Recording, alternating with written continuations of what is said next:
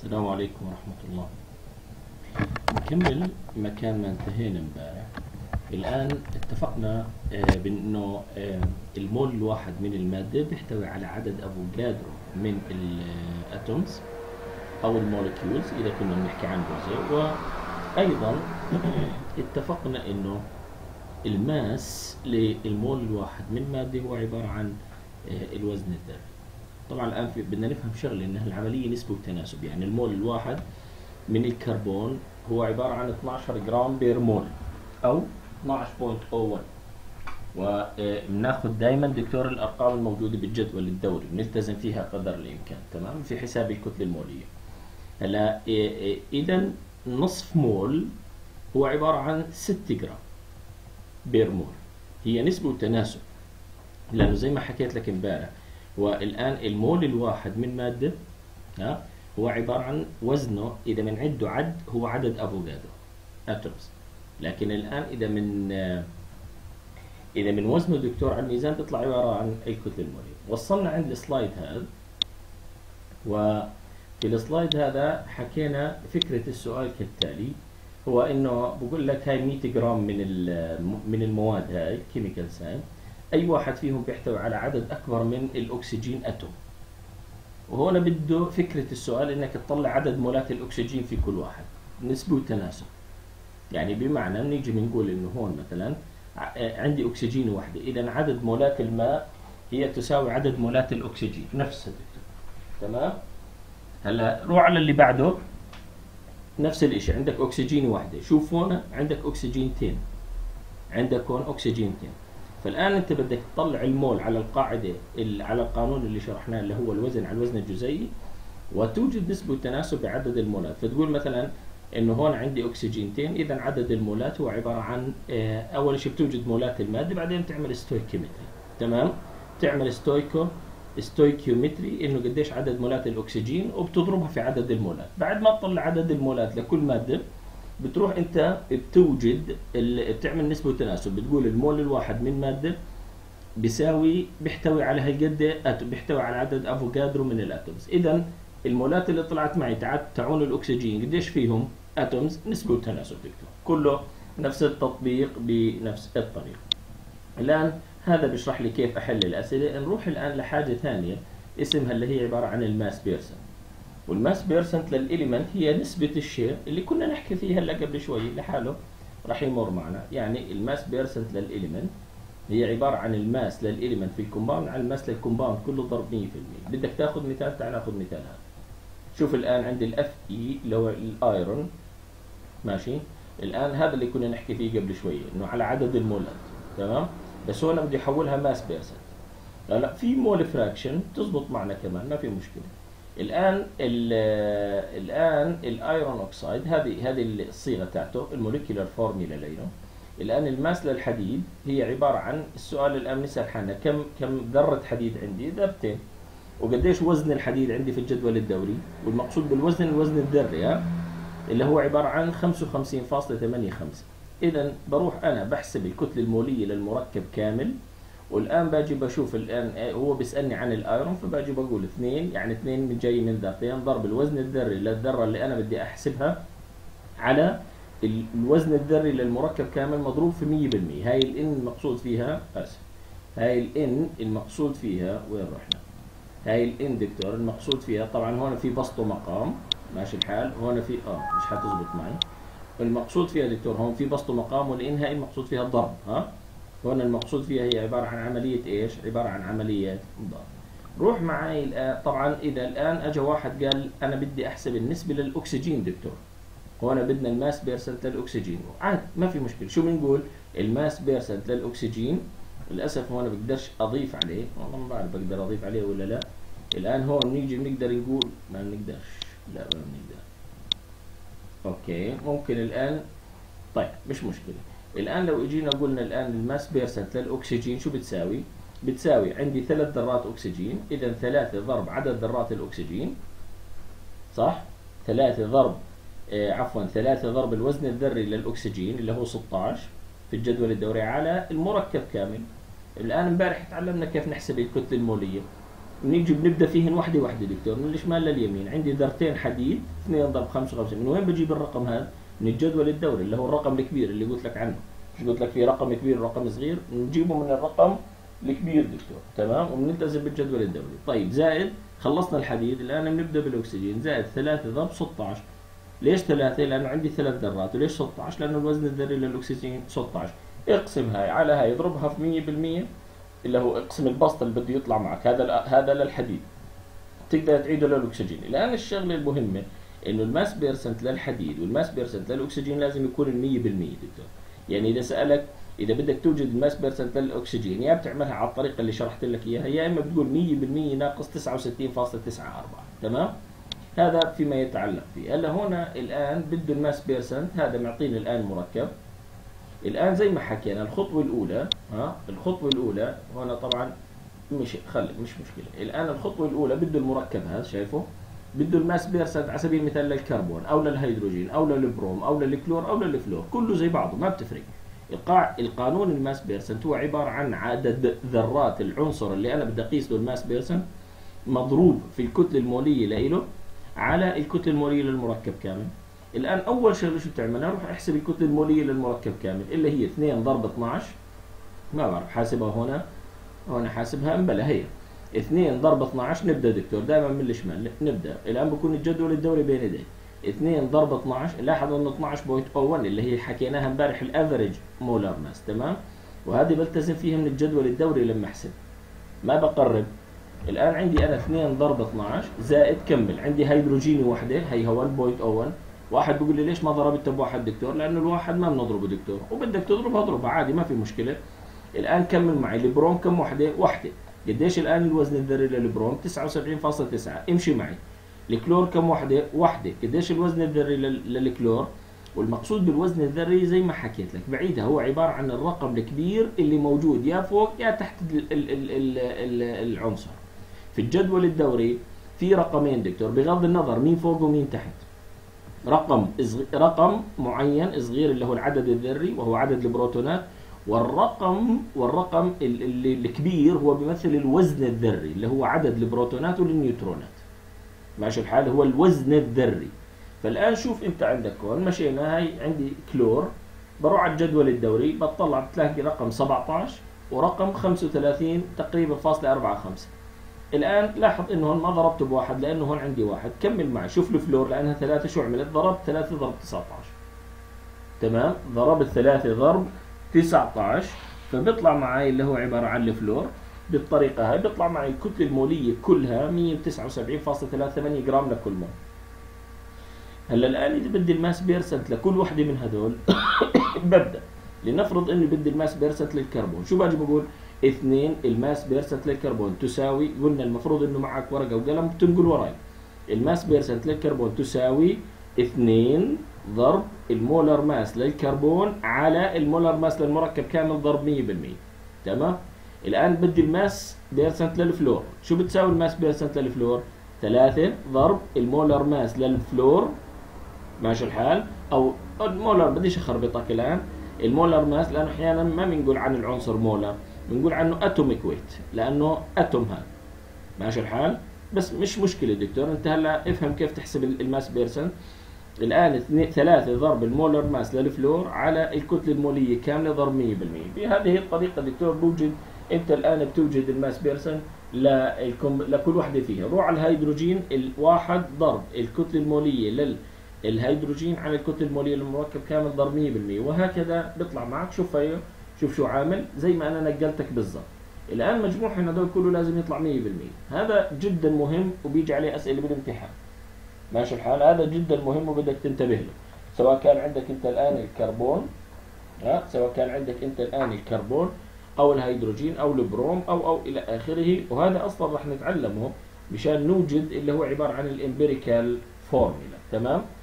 هلا روح معي على الآن هون عندك سؤال ثاني على ال percent بقول لك عندك 100 جرام من مادة من هدول الآن lowest أكسجين هذا يبدو إنه تابع للسؤال اللي حكينا عنه قبل شوي تمام؟ هذا يبدو إنه جاي مكرر عندنا بالغرض اللي هو غاد كان من ال highest لل lowest و لا بال percent by mass صح صح صح. السؤال مش مكرر. السؤال مش مكرر دكتور. هذا هو السؤال. بدك الآن بقول لك احسب باختصار بقول لك احسب ال mass percent للأكسجين. لكل واحدة من هذول. وبعدين رتبهن من الأعلى للأدنى ولا في أسهل منها دكتور. نبدأ فيهن واحدة واحدة. الآن نوجد الكتلة المولية للمية لل H2O بعدين شو بنيجي؟ بنقول ال mass percent. للأكسجين هي عبارة عن واحد ضرب الكتلة المولية للاكسجين على الكتلة المولية للمركب كامل ضرب 100% نيجي هون.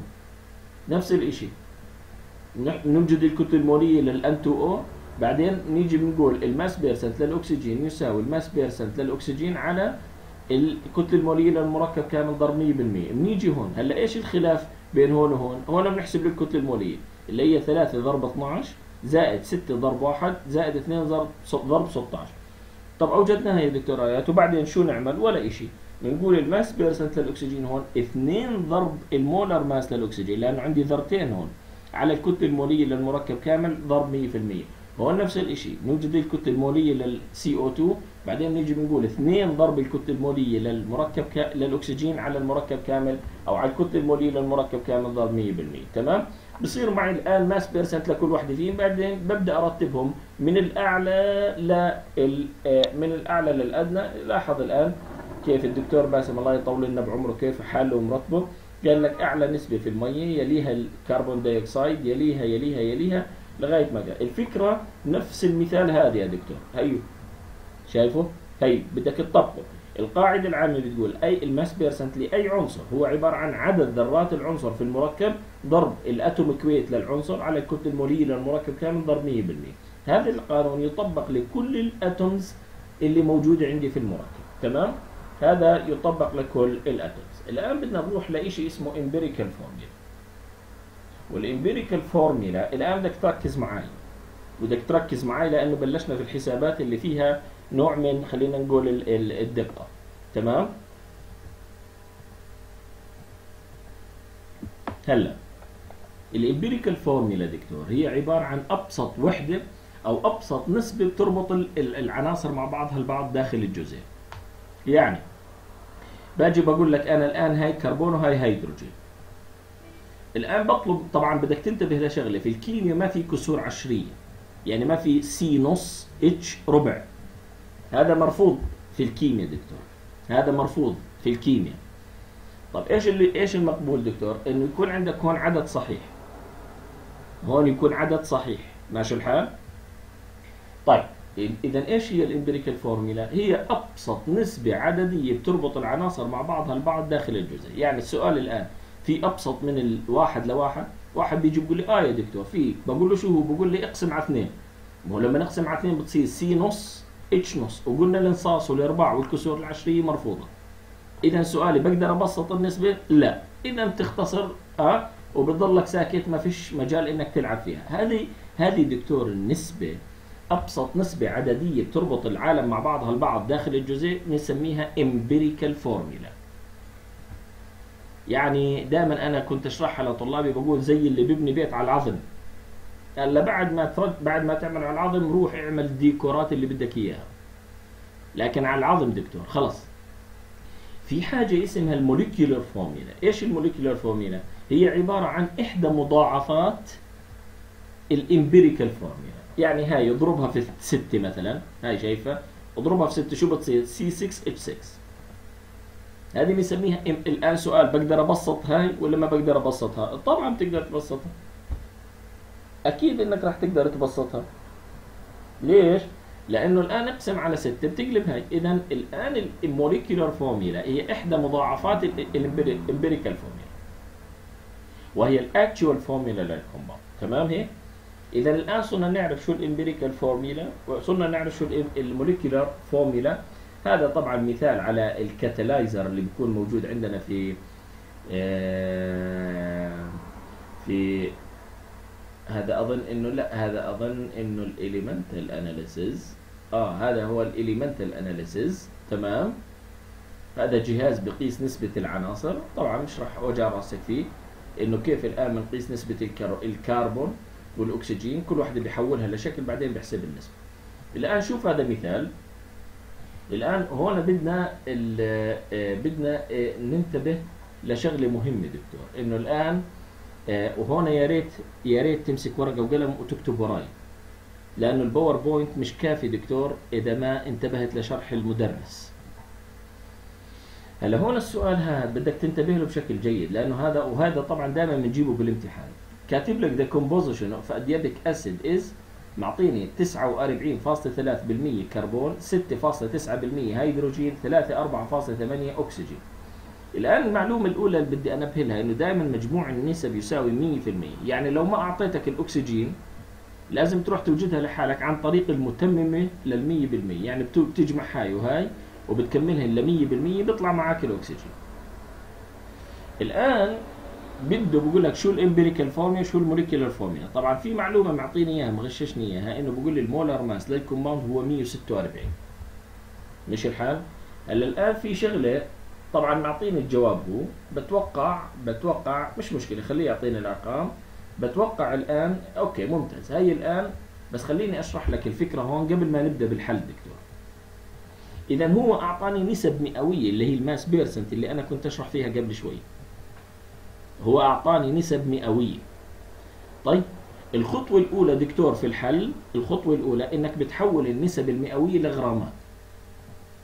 يعني الكربون وكأنه عندي 49.3 جرام وكأنه عندي 6.9 جرام هيدروجين وكأنه عندي أنا 43.8% عفوا جرام أكسجين.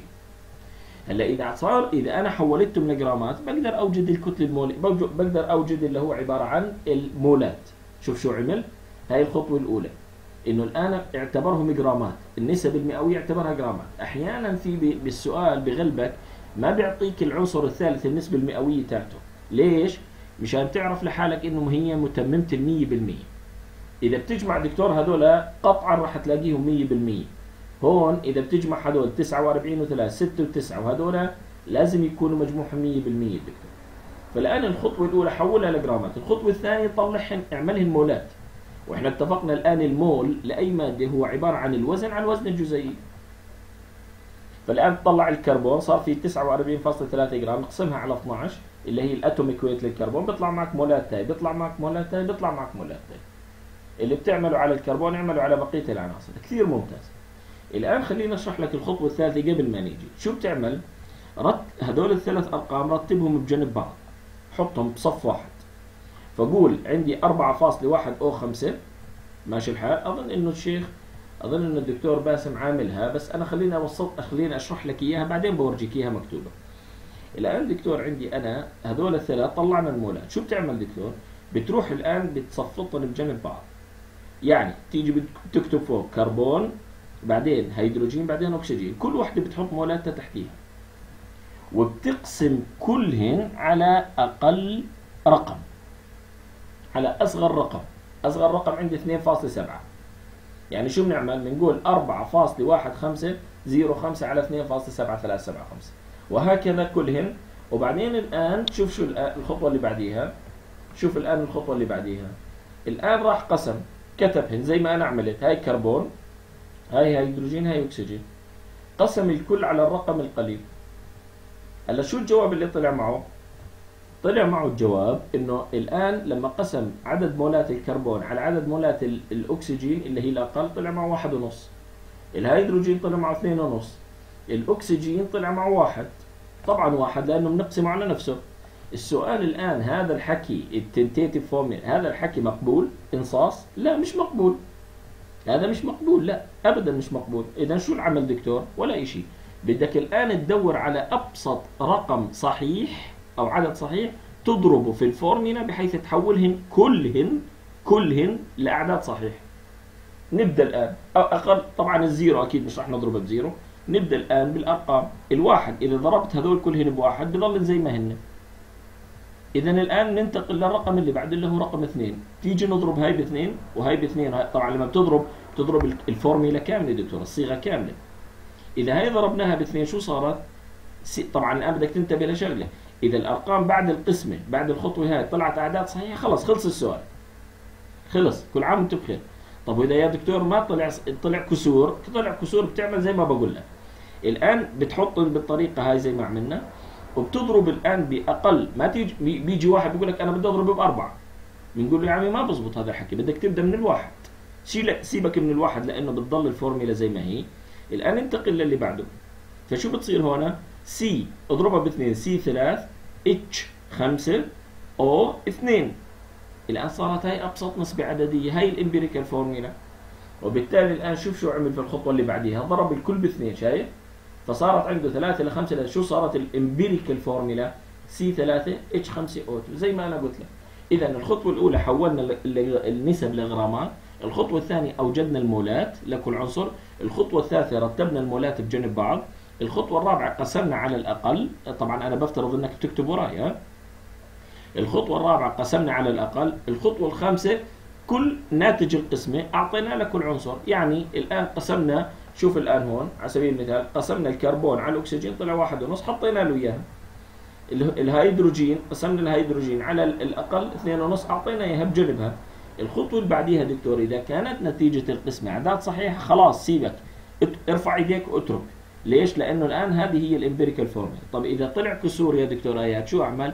بتدور على رقم صحيح بسيط. يعني رقم صحيح المقصود فيه نبدأ من تحت. لو أجى واحد ضرب هون بأربعة طبعا هون إذا بتضرب بثلاث بتظلها كسور الواحد ونص بترجع أربعة ونص والاثنين ونص بتصير سبعة ونص يعني ما, ما يعني ضلينا مكاننا ما استفدناش. طيب لو الآن أجى واحد هون ضرب بأربعة الواحد ونص بتصير ستة والاثنين ونص بتصير عشرة والواحد بتصير أربعة الآن شغله صح؟ لا أبدا شغله مش صح لأنه هو حولها ل molecular formula وليس empirical formula لو ضرب بأربعة ها ما طلع لي أبسط نسبة عددية. طلع هون دكتور. طلع هون. في مجال تبسط أكثر من هيك؟ جرب. جرب اقسم على اثنين. بترجع للمشكلة الأولى. هي شايفة؟ هي بترجع لهي إذا قسمت على اثنين. بينما دكتور إذا ضربت بأربعة شو بتصير هاي؟ سي 6 إتش 10 أو 4 هاي هاي molecular. ليش؟ لأني بقدر أقسمها على اثنين. ولهذا السبب إذا ما كان إذا ما كان ناتج الكسر أو عفوا ناتج عملية القسمة كسر عشري فيجب يا دكتور إنك تضرب بأقل عدد صحيح حتى إنك تحصل على ال empirical formula خلص السؤال؟ لا ما خلصش السؤال. أنت طلعت empirical formula هو السؤال شو طالب؟ تعال نرجع أنا وياك للسؤال. شوف شو السؤال طالب. تعال نرجع أنا وياك. أنا عارف إني غلبتك. شو كاتب لك؟ كاتب لك الآن the composition the molar mass. شو كاتب لك؟ هاي ال empirical خلصنا كاتب لك what is the molecular formula الأولى طلعناها والثاني أحيانا ما بطلب منك هاي ما بطلب الأولى بطلب الثانية. ليش؟ لأنك إذا إذا طلب الثانية إجباري بدك تمر بالأولى يا دكتور. اذا لغاية اللحظة هاي إحنا طلعنا ال empirical formula الآن كيف بدنا نطلع ال molecular formula؟ بخطوتين خطوتين بسيطات. الخطوة الأولى بنروح نوجد الكتلة المولية لل empirical formula. أظن إنكم كنتوا تعرفوا توجد الكتلة المولية. 3 ضرب 12 فاصلة O واحد 5 ضرب واحد زائد 2 ضرب 16 كل عنصر مضروب في وزنه الذري هلا بيطلع معك ال empirical formula. بعديها دكتور شوف الآن شو راح نعمل. الخطوة اللي بعديها ال molecular formula. شوف شو عمل. طلع ال empirical formula. من وين اجت ال 73 هاي؟ هيها دكتور. 3 ضرب 12 زائد 5 ضرب 1 زائد 2 ضرب 16 اجمعهم بيطلع 73.7 بس التزم بالأرقام اللي موجوده بالجدول الدوري. طب الآن صار عندي أنا الكتلة المولية لل empirical formula وهو بالامتحان بالسؤال معطيني الكتلة المولية لل molecular formula اقسم ال molecular على ال empirical بيطلع 2 عارف شو يعني هذا الاثنين؟ هذا هو الرقم اللي أنت بدك تضربه في ال empirical مشان يعطيك ال molecular وصلت؟ إذا إذا بدي أحول من ال empirical لل molecular شو بعمل دكتور؟ بقسم الكتلة المولية لل molecular على الكتلة المولية لل empirical.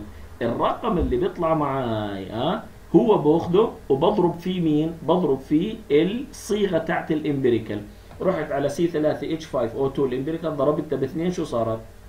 C6 H10O4 اذا أنا عارف إنه ست خطوات طوال ولكن دكتور هذا سؤال أكيد بيجي بالامتحان يعني اللي بيتقنه بيضمن علامته في الامتحان. تمام؟ هلا هذه هي ال empirical وهذه هي ال molecular formula Okay؟ هون الآن معطيك خلصنا خلص ال empirical وال molecular وبتأمل الآن بعد ما تخلص من ال quiz تراجع المادة بهدوء تمام؟ روح معي الآن على اللي هو عبارة عن ال chemical reaction التفاعل الكيميائي وهنا بدنا ننتبه إنه الآن دائما ما قبل إشارة السهم هو عبارة عن يمثل المواد المتفاعلة وما بعد إشارة السهم يمثل المواد الناتجة. ماشي الحال؟ طبعا الآن ال reactant تيجي على ال left side وال product بتيجي على ال right side. هذا شيء بنعرفه بشكل جيد. الآن في معادلة بدها تنوزن اللي هي نعرف كيف نوزن المعادلة. ماشي الحال؟ لازم يكون عدد الذرات اللي موجودة على الشمال هي مساوية لعدد الذرات الموجودة على اليمين. وهذا أحيانا بيخلينا إنه الآن نضرب في رقم. فدائما بنبدأ دكتور في المركب الكبير. فلاحظ إنه الآن طبعا لما بتجمع لما بتوزن معادلة هات خلينا نشرح الموازنة لما بتوزن معادلة بتوزن الذرات في كل المتفاعلات. يعني نبدأ من هون دكتور بالموازنة. وأنا بعرف إنكم بتعرفوها في التوجيه وأشطر مني فيها. الآن بنيجي هون. كم ذرة كربون عندي؟ نطلع على المواد المتفاعلة كلها مش بس على المركب هذا. دكتور عندي ثنتين. نيجي هون. بدي أفترض إنه الآن اثنين هاي مش موجودة والثلاث هاي مش موجودة. بنيجي هون دكتور آه الآن عندي هون ثنتين وهون عندي السي أو 2 وحدة إذا شو لازم أعمل عشان هاي تصير زي هاي؟ بضرب الآن باثنين. الآن نكمل عندي كم هيدروجينة؟ خمسة دكتور. طيب الآن خمسة واحد هون ستة. طيب الآن عندي أنا جزيء ما؟ عندي أنا H2 بس تنتين إذا شو لازم يصير؟ حتى هاي حتى يكون عدد الذرات اللي على الطرف الشمال اليمين يساوي عدد الذرات على الطرف الشمال إذا لازم أضرب هاي بثلاث بنيجي على الأكسجين كم أكسجين عندي أنا هون؟ واحدة وهون ستة قد صاروا سبعة.